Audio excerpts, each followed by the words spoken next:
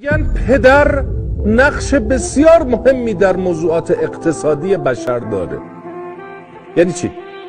یعنی یا باید پدرت در بیاد تا پول دارشی یا باید پدر مردم رو دراری تا پول دارشی یا باید پدرت پولدار باشه. تنها پدری رو که هی میگن نور به قبرش بباره همین مورد پدر آخریه.